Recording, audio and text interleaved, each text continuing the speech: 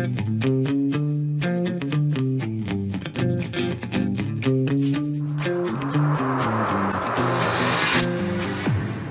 back to the Mel K Show. I am so excited. Everyone here probably knows my guest today. He is one of my favorite people, and honestly, the smartest people I have ever met. And and that's not just me blowing smoke. He, I tell him every time I see him. But uh, I could not be more lucky than to have on Jason Bermas today. Uh, what we are going to talk about. It is coming from the one person who actually knows that they're the whole story. Thank you for joining me, Jason Bermas. I would not say the one person. I think there's a lot of uh, great researchers out there. Uh, I would say, you know, obviously uh, Whitney Webb has done some great stuff out there. I would say that Derek Broze has been on this case. Uh, and listen, Alex Jones uh, has also been on this case probably longer than most. And he really did afford me the opportunity literally all week uh, to come on, discuss what I thought was going to be into the documents. And now, up until what has been released, and they're still being released uh, moment by moment, day by day. I assume that they are going to maybe stop over the weekend and start again on Monday. And uh, we know that at least some of these documents are going to be withheld and continue to be redacted, at least through one appeals process, uh, which is being revisited on the 22nd of this month. Well, I will say this because I, uh, I, this is for me personally, is that I watched you go through these these legal proceedings reading them on your show. This is how i personally learned a lot of stuff was from you and Shaun Attwood, and i agree with whitney webb of course and her books. I recommend them to everyone uh, nonstop but uh, you particularly put in a lot of effort and then there's also something about you. You feel very compassionate and empathetic and and you really you knew you really delve into you know the real ramifications of this entire case and what it was really about because a lot of people like the, salacious stuff and you really got to the you know some of the victims. You brought on stories of people that have been through this kind of hell and so you brought a little humanity to it where i'm not seeing that much. So let's get into what's really going on here what was released what wasn't released and what your your thoughts are on you know where this is headed sure so so far uh there has been almost no new names that I have seen that haven't been out since at least the uh, last dump of Epstein's Rolodex, uh, which that was when Noam Chomsky became a name. Right. All of a sudden, Marvin Minsky was out there. Now MIT was in that circle, but they'd already been mentioned uh, through some of the charities previously, along with Harvard University. Um, I would say that the, the biggest revelations out there uh, would be number one, and this is a revelation that's already being contested, is that Bill Clinton personally went into the offices of Vanity Fair in New York and demanded that the 2003 story about Epstein not be run. Now, for people that are unfamiliar with that, again, a lot of this documentation had be re- been released earlier, so we knew that there was an in, indeed a story in 2003 that had information about Epstein and his abuse that they did not include that in the story, and instead it turned into a puff piece. Um, but Vicky Ward uh, was the author of this, and she had also come out and started to talk about it. Now, in the documents, it's now saying that Clinton himself tried to put that off. I want to put that in context for people uh, because we often talk about the NYPD and the FBI knowing about Epstein all the way in the late 90s, according to Maria Farmer. And I would remind people her sister Annie Farmer recently won in court against some of the uh, banks that were sued for literally uh, hundreds of millions of dollars collectively by victims, giving a lot of validity to that story. Um, Farmer herself had said that she had done interviews with the media, including Vanity Fair, before this. And whether or not Clinton's involved, now people are getting the grass. Wait, he hadn't been arrested yet in 2003. It didn't happen until 2006. So not only do we have the FBI and the NYP bare minimum knowing on the record, we now have the mainstream media knowing on the record. And, and this should show the compromise of all of these individuals. Um, some of the other revelations that are out there. I mean, again, they're going for the lines on Bill Clinton and he likes him young but really there isn't a lot of a lot of meat on that bone because people are still focusing on the island only. Well, right. the Clintons right. want to show people this. they actually had their own spot at Zorro Ranch, the establishment that was never investigated. So there was a, a, a small village, a cowboy village, if you will, that was built for when the Clintons would come and visit. So we talk about Bill Clinton, we talk about the island, and we talk about the Lolita Express you know, Erik Prince is the one that talked about Hillary Clinton and her relationship with Epstein and her being on that plane. Well, how about them being at Zorro Ranch, right. where he allegedly was going to try to run a baby making farm of up to 20 women impregnated at once? Uh, you know, I think I did your show this year just around the time that Bill Richardson had yes, passed. You did. He was a huge ally of Bill Clinton, had previously been named in these documents, and of course, was named again. And he was the governor of New Mexico at the time. He was part of the Clinton Global Initiative and the CFR. And, and, really, when you talk about the Clinton Foundation into the Clinton Global Initiative, remember the documents that had already been out there and now they're being talked about again. Had Epstein saying that what he had actually helped create the Clinton Global Initiative. And this isn't just him saying it to somebody. No, they put that into legal writing with right. his lawyer, Alan Dershowitz, and another attorney. So this is on the record, folks. These are the bigger things that people need to understand. This wasn't, hey, I'll call up Jeffrey Epstein and I'll buy a girl. No, this is a ring in which he's able to blackmail people. He's able to compromise big parts of industries we don't talk about, which is the arms industry, right banking industries, uh, again, the trafficking industries, but also the drug indus- industries as well as it's very apparent that he was part of the Iran Contra scandal. You know, that that was also alluded to by Vicky Ward. Right. So it's the intelligence assets that we need to focus on. And remember that raid in New York, I want to remind everybody that they entered this into evidence. That's why it says government exhibit 925 R with Ghislaine Maxwell. This is a black binder containing part of the extensive CD collection that we have no idea what's on these CDs. Oh, but we do. Because if you scroll down, you can see that some of these are named Selena AV Shoot too. So I would imagine there's, I, I mean, my skills of deduction, they're not up there with some, but I would imagine that this was at least the second audio video shoot of Selena. And these are pictures and videos of that shoot. We never saw that evidence. Then you have the hard drives. Um, again, you look at this, this is even more perplexing yeah. because at one these hard drives had already been taken and had evidence tape on them. That means they were taken in some investigation we don't know about returned back to Epstein. We still don't know the material that's on them or why they would have been returned under any circumstance. And then we have his safe with jewelry, with a passport that has his face on it, but another identity altogether, and a Saudi Arabian address. You know, all this stuff screams of intelligence. And I do want to remind people again, it's on the record. Anybody can read it. Um, he did cut a deal with the FBI. Right. We don't know who his FBI contact was. We don't know who it was approved by. We don't know who it was drafted by. And we don't know the basics of the beginning. But it says Epstein has also provided information to the FBI as agreed upon. Case uh, agent advised that no federal prosecution will occur in this matter as long as Epstein continues to uphold his agreement with the state of Florida. And remember, this was a non prosecution agreement right. with not him, with many. And I've been pointing out you want lists? We've got lists uh, right here. You can see uh, from his Rolodex that William Burns, who's the current CIA director, uh, was scheduled to meet with Epstein several times in 2014. So, right. black book lists have been out there.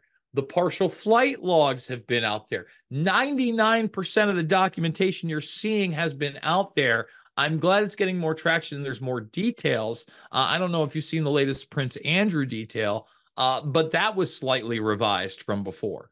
What's um, the what did it drop today? New Prince Andrew stuff? So again, you know, the Rolling Stone, to their credit, at least they didn't put any of the Donald Trump stuff that had already been out there in here. The right. seven big revelations in the Jeffrey Epstein docs, and again, these are continuing to drop throughout the day. Uh, but they're talking about Prince Andrew and his puppet. Now, this is partially. Oh, right. I knew that story. Yeah. Right. That they that Ghislaine Maxwell had actually bought this uh, almost life-size puppet that had been used on television shows. But what I didn't know is that basically they had Prince Andrew with one of their victims and another victim next to her, his hand on one of their breasts, and then the puppet with a hand on one of their breasts and a picture together. Uh, again, someone has that picture, Mel. Right, I right. believe Epstein just, ah, we're going to get rid of this one. Like someone has that picture. Right. Yeah. And again, um, when I in 1995, I actually came across him in New York City. So this has been going on at least since the mid 90s till he was arrested in 2017, 2016. So Well, he was what- done. Remember, he was arrested in 20, 2006 first. right. Uh, quick go.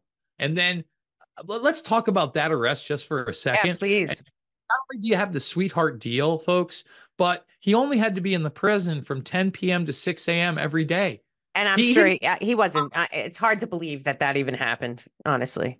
I mean, but also the what the other thing about the the uh, Miami, I mean, the Palm Beach arrest too, is that those cops. I mean, you've covered that. You covered that case a lot too. There were cops and people that claimed to have evidence and tapes that like disappeared from the face of the earth too. Wasn't there a guy that had to like flee to Russia? You know, I think that that uh, gentleman uh, was was not just trying to garner attention, but falsely saying he had taken tapes there. Maybe that was because he really did feel like his life was in danger. I will say this: Sarah Ransome, and this is out in the public arena. Uh, that is one of the victims that, again, these documents have been around for a long time. She claims that she watched some of these videos with Epstein, and she also makes the claim that some of these videos are in her possession for protection. Now, again, whether she's saying that to protect herself uh, is one thing, but I do believe her when she says she saw the videos because, again, when Maria Farmer initially brought this to the attention of the police and the FDNY, she said there was a room in the New York mansion that had basically been given to Epstein from Les Wexner, someone who never faced any kind of criminal retribution for this for either a dollar or ten dollars Right. and that station that was taping everybody was actually manned. And look, you go into the late 90s. Again, I'm a tech guy. I remember buying my first Maxtor hard drive. Uh, this is what they used in those old school DVR systems, or it was really all, the only thing available. SATA still wasn't around at that point. Forget about USB hard drives and things like that. Folks, we had zip disks. Uh, they weren't even burning CDs at that point. Uh, so that tells me that in the late 90s, they were taking hard drives. They had video there. It was manned there. You would think the other establishments, whether it be Little St. James or uh, the New Mexico Ranch, had some level of surveillance as well. And in fact, one of the one of the revelations that has come out and that I had not seen before, uh, although it may have been published before, so don't quote me, but it's out there again. Epstein also trafficked Jane Doe number three for sexual purposes to many other powerful men, including numerous prominent American politicians, powerful business executives, foreign presidents, a well known prime minister, and world leaders. Uh, Epstein required Jane Doe to describe the events that she had with these men so he could potentially blackmail them. Now, what's interesting to me about that is that is a key tool of blackmail because say that you didn't get it on video but you did have information about that event that would be exclusive to the person that they did it with. Well, now you can show that person another piece of video that's totally different and maybe not incriminating and say, I don't just have this, I have this as well, and compromise them that way. So there's a whole process to this Yeah. uh, outside of just the surveillance. Yeah, and I know from I, I guess it was like Fashion Week in 1995 that I first heard about these model apartments because Epstein also owned a modeling agency, and he would tell people, young women, uh, first of all, a lot of these models that lived in these model apartments were not at the time. There's uh, it was the time of the supermodel, and these were not supermodel material. First of all, none of them spoke English. I had some a friend that lived in Manhattan next to a building that now I believe Epstein owned or was a part of that had eight girls living in a one bedroom or two bedroom apartment from all over the world. So this this trafficking, because you bring up Jean Luc Brunel, not many people know about him. He was married to Linda Evangelista, a, a major supermodel. um, and you bring up Les Wexner. This that modeling agency world, and it wasn't just women; it was men too. Abercrombie and Fitch is also one of his companies. They had uh, really infiltrated that modeling world as well. Correct? Yeah, they absolutely had. You know, you mentioned uh, Les Wexner. You mentioned the modeling agencies and how they had them in small uh, apartments. One of the things that I played this week on Alex Jones was Claude Haddad and the 60 Minutes piece all the way back in the 80s. And the way that that worked was that they would go in there, they tell the parents, you know, how beautiful their kids were, they rile them up. You're going to come over, you're going to be on the catwalk as young as 15. So you had 15, 16, 17 year old girls. Now, they would fleece them financially. They put them into a dormitory uh, style life. They would not have access to a phone most of the time. This is long before the time of cell phones. And they would take them to these events and dinners and basically pawn them off on different rich businessmen, politicians, you name it. Now, whether or not that was a, a honeypot operation, that was the norm for this type of behavior. You oh, look yeah. at, you said Brunel. Jean Luc Brunel on planes with Epstein. He was actually arrested and charged with multiple rapes. He was spending time in a prison in Spain just last year when he committed suicide and is no longer with us. Uh, Peter Nygard ran a similar playbook. He had a Caribbean island. He was in the fashion industry and also um, forcing himself on women, not only women, but drugging and raping girls allegedly as young as 14. His kick um, gets into this weird Epstein thing where Epstein starts talking about Island of Dr. Moreau with Steve Bannon and stuff. And the fact that he openly said, I want to live forever or I'm going to die trying. And he had biotech companies. But what he was doing with these victims is he was making them have abortions and once they would have the abortions, though that aborted fetal tissue was converted into stem cells that he would inject in his own body in a quest to live longer or again live forever.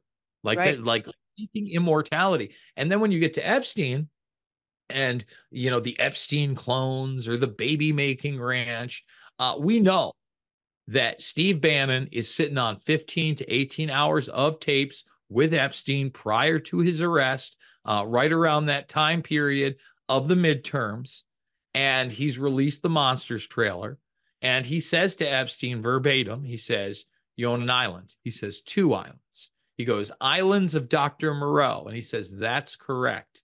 Now, I have a sneaking suspicion that some of that tape is about to be released by Bannon probably after this first dump is over, if I had had to guess. Now, that's speculation, but why am I making that speculation? I think it's an educated guess because Megyn Kelly is out there spouting her mouth off saying that you're going to hear directly from Epstein soon. I as far as I know, the only person that has direct videos of Epstein that would be addressing anything of significance out there is Steve Bannon.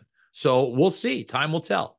Yeah, now you know, uh, bringing up Megyn Kelly and her, you know, I can never ever get over interview with James Alefantis uh, personally. But um, what I do want to bring up is there's a lot of conflation um, between, you know, now Pizzagate has been brought back into the forefront. Uh, obviously, it's all over the place. Pizzagate is not connected directly to Jeffrey Epstein, but people are acting like this is one in the same, and it's not, correct? It is not. Uh, however, what I will say about it in its connection is that uh, Pizzagate is most definitely connected with the, the DC sex ring, the one that right. was out via the Franklin scandal. If you talk to somebody like Nick Bryant uh, during the 80s and 90s, you essentially had on the Republican side a lot of the time uh, either homosexual prostitution or pedophilia with young boys. Right. On the other spectrum, most of the Democrats uh, preferred young models or young girls. yeah. Well, so, Bernie Frank didn't he have a uh, a, a boyfriend that ran a, a, ring out of his apartment in D.C. And that was, and then there was the other guy, Hastert, right? Givauderm is a luxurious, toxin-free skincare that actually works. Not only only do we take the toxins out, we put the most powerful nutrients in. All of our products are an effective way to detoxify, replenish, and protect your skin. Our toxin free, natural ingredients provide real results without compromising your skin's health.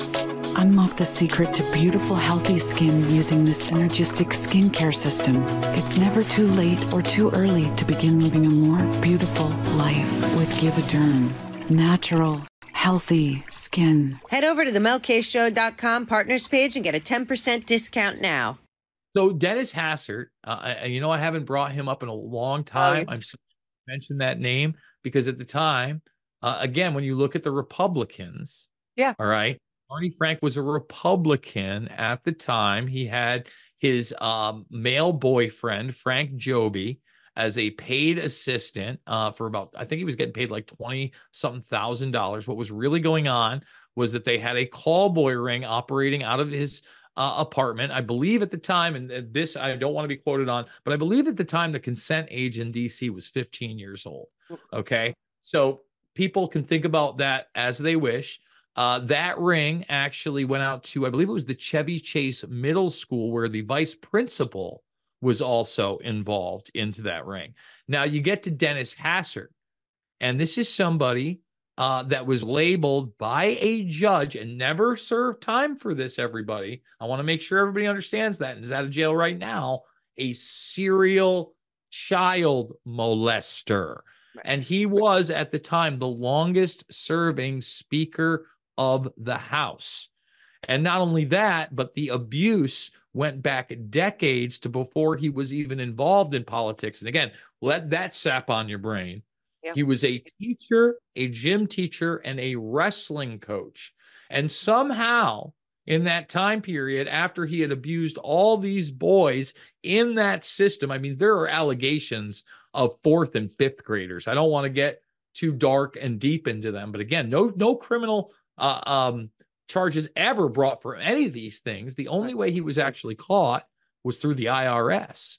Um, they were looking at his payments, and he was paying off one of his victims. And when confronted, he didn't know what to do. So he basically lied about the reason that he was giving the money to them, saying he was blackmailed for something else. Finally, this individual that had cut this deal and really didn't want any public attention brought to him had to say, No, we cut this deal because he raped me as a kid.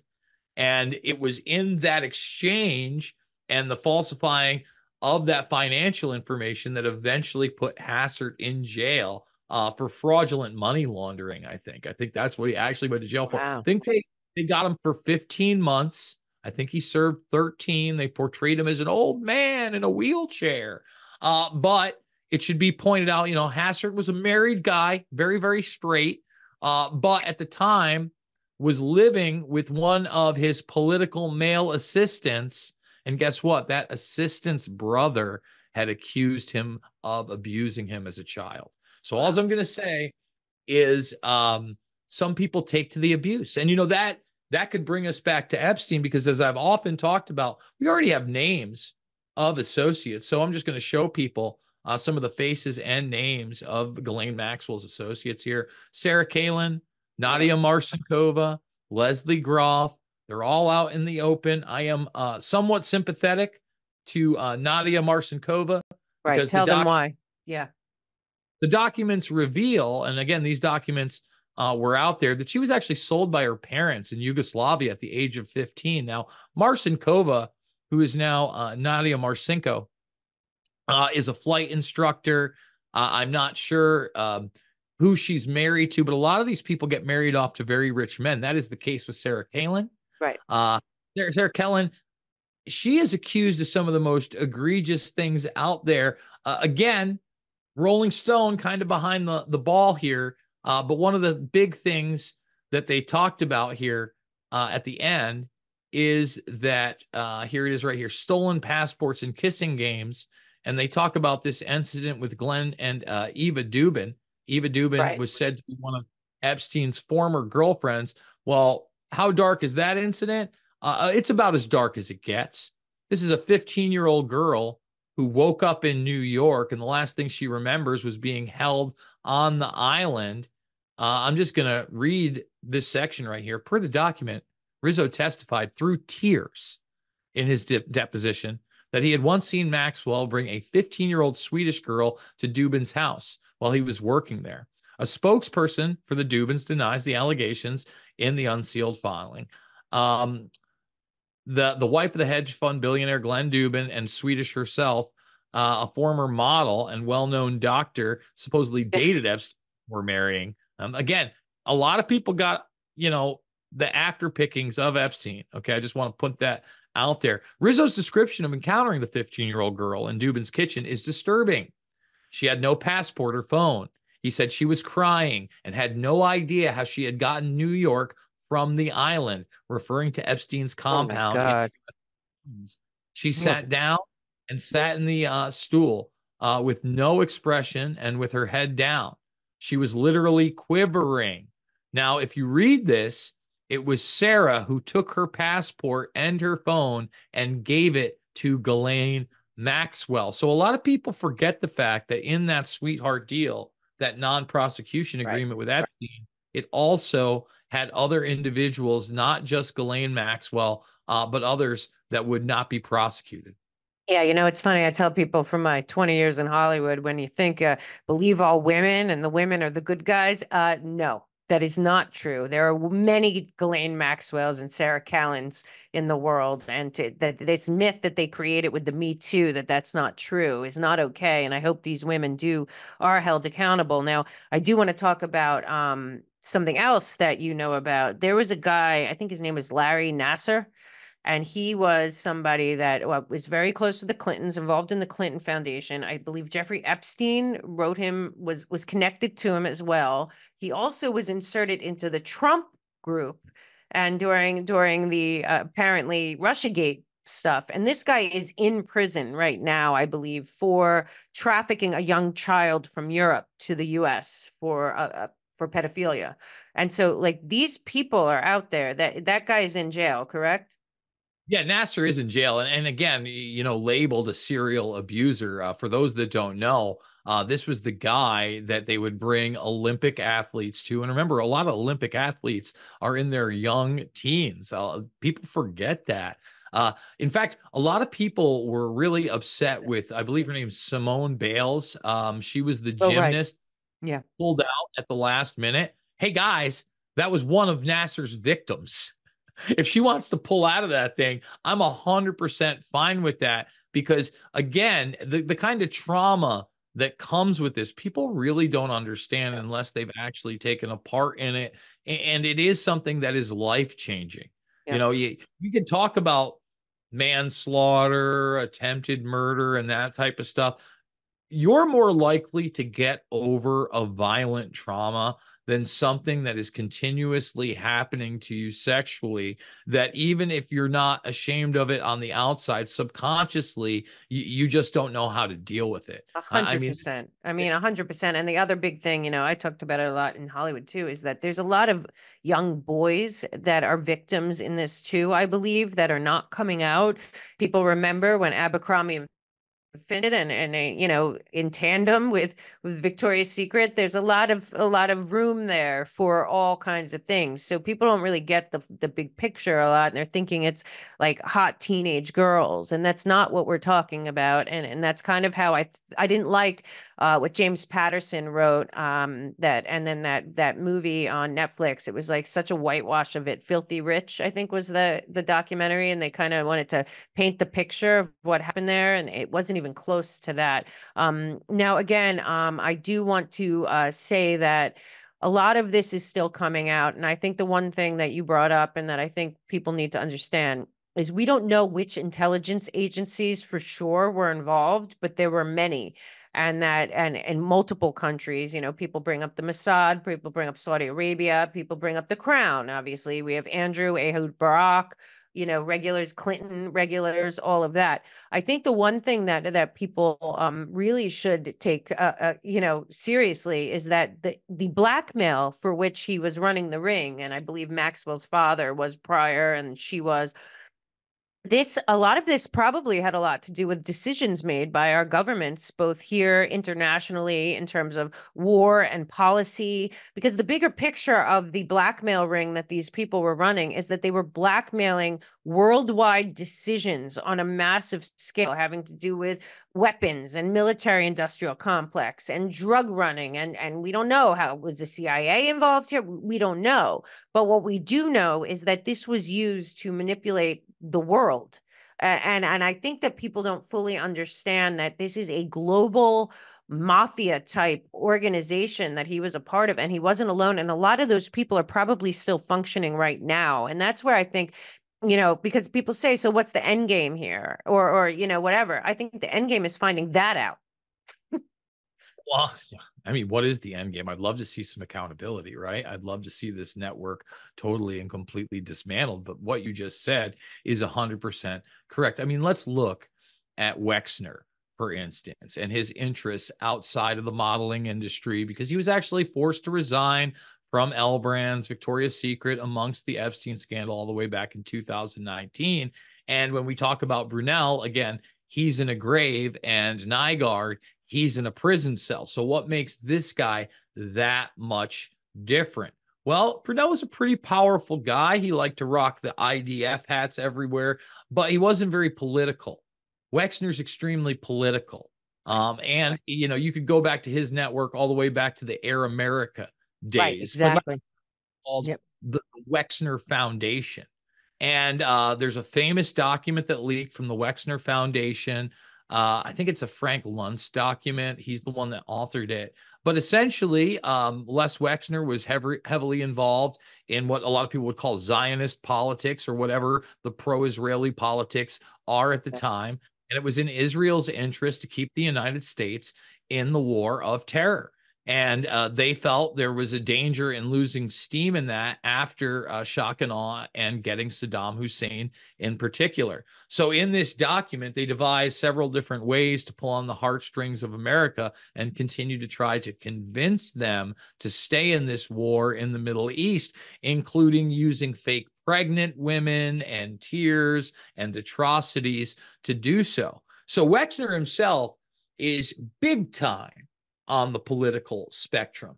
And a, lot of the ways that the money laundering in this would work, other than the arms deals and the banks in particular, were these institutions. That's why the global uh, Clinton or the Clinton Global Initiative is so important. That's why Epstein had charities in which he had cabins at um, you know uh, institutes for girls. Yeah, that's camp. Art camp. yes, the art camp. That's why he worked with MIT as well. And you look at MIT. Well, Noam Chomsky was one of those people that was elevated by the mainstream establishment as anti-establishment. What a joke. Uh, then you look at Marvin Minsky, you know, another one of these guys. Remember MIT? They worked with Boston Dynamics. They right. worked directly. Media Lab. Yeah. ARPA. Um, you had Stephen Hawking, another person uh, that's now alleged to be in this underage orgy. Uh, again, Stephen Hawking, when he was around, he was kind of a womanizer, but then you wonder what exactly was going on there because the guy couldn't speak most of his life right. through this. Yeah, um, and also so the Wexner thing that you bring up. So you got to remember something else got it got swept under the rug here, which are the Bronfmans, and uh, they were NXIVM, which we can't say was not connected to this, but also Wexner also has something like the Young Global Leaders at Harvard. So I mean, there's a lot of stuff going on here with the periphery. Also, you bring up that um, Jeffrey Epstein says that he created the Clinton Global Initiative, there was a fourth guy that created the Clinton Global Initiative named Stephen Bing, who jumped off a building during COVID. Uh, one of the richest people in Hollywood and biggest producers, also involved in, according to him, creating the Clinton Global Initiative. You know what I always found weird was that uh, Weinstein, who knew a lot, didn't flip on these people. Um, and I also felt that, um, and I wonder what you think of this. I thought that it was very weird that Maxwell didn't make a deal um, any thoughts on either of those two and, and why they, they possibly did not do that? I think starting with Maxwell, I think there's the hope that one day she is going to get out of jail and appeals.